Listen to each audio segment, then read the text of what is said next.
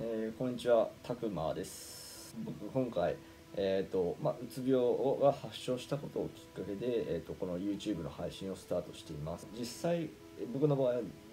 なんだろうな、えー頭痛とか、えーま、のあのめまいっていうんですかね、えー的な体の症状として出ていて、まあ、お医者さんにも、まあ、うつ病という診断名で診断書も書いていただいてるんで、うんまあ、僕の中で体に出ているっていうことそれから、うん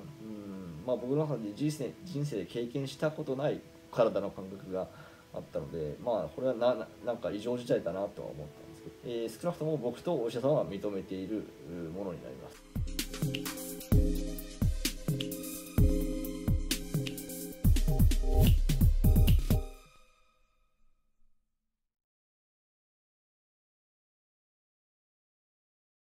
何が言いたいかっていうと精神疾患って何かこうウイルスが検出されたからとか血液検査をして陽性が出たとか、えー陽性判定が出たとかそういう判定ができないのでまあそんな人いるわけもないでしょうし本人が僕の精神がおかしいって言ってんだったらきっとおかしいんだろうし、うん基本的にはないとは思うんですけど、まあ、場合によってはねうつ病のふりをしていると、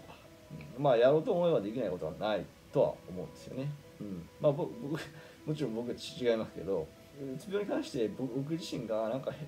変な風にこじらせたりしないように気をつけなきゃなと思っていて理由としてはななんだろう僕僕もあの動画見せてめっちゃ思うんですけど僕ってモデル事務所にも所属していたぐらいですしこうやって YouTube 配信なんかで顔も出しちゃうぐらいだからなんだし、まあ、ファッションも好きだしえー、と何？美容室も23週間に一度行くしみたいな。よく言えばあの美意識が高いって言えるかもしれないが悪くも聞こえる言い方をすると、まあ、非常にナルシストなんだなって改めて感じましたね。あのビデオで見ると多少は自分のこと客観的に見れるじゃないですか。まあ本来ね望むべきではないうつ病を患ってしまってこうやってこう動画配信楽しんでやっているので悪い方向にこう自分がうつ病ビジネスに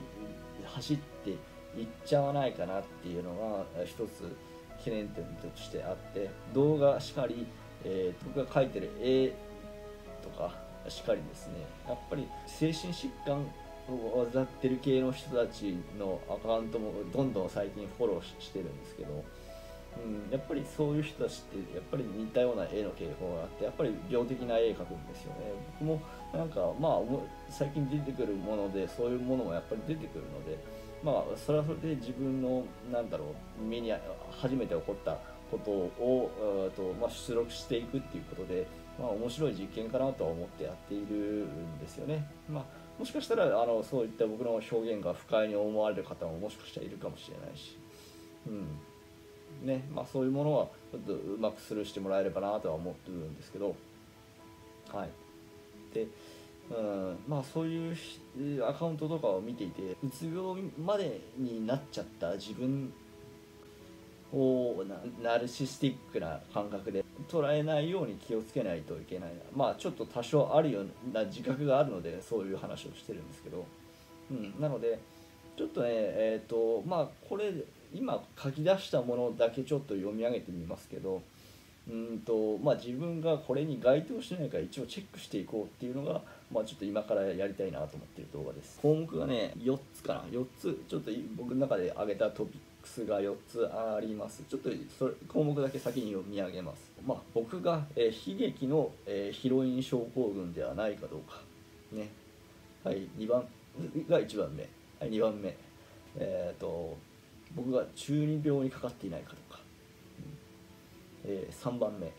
えー、とアドラー心理学のな、えー考え方の中でうんと、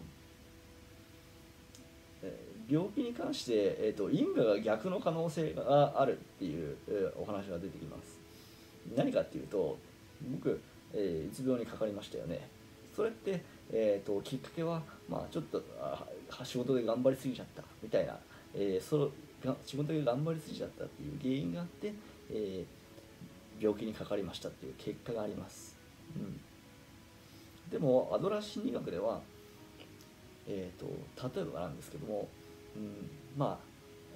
僕あの自分の精神を分析したらちょっとマザコンの気質があると思ってるんですけどお母さんに、えー、構ってほしいから病気になった。っていう考え方をアドラー心理学ではするそうで、まあえー、そういうマインドになっていないかどうかこれが3番目で最後4番目が僕のうつ病が少し早めのミッドイヤークライシスではないかどうかっていう点ですね。まあえーと、それぞれそうであったらダメとかいいとかダメとかそういう話ではなく、えー、ままずあくまで僕の、えーと、リアルな現状を、えー、可能な限り客観的に見たいので、えー、恐れのある項目をこの4つ挙げてみました。うん、もう一回読み読み上げます。1、えー、悲劇のヒロイン症候群ではないかどうか。2、えー、中二病ではないかどうか。3、えー、構ってほしいから病気になったのではないかアドラー心理学的視点、はいえー、3番、えー、ミッドイヤークライシス的うつ病なのかどうかですね、うん。まあ、そういったところを、え考察していきたいと思っています。結構時間経ってしまったので今回は、え目次編という形で、え動画終了したいと思います。失礼します。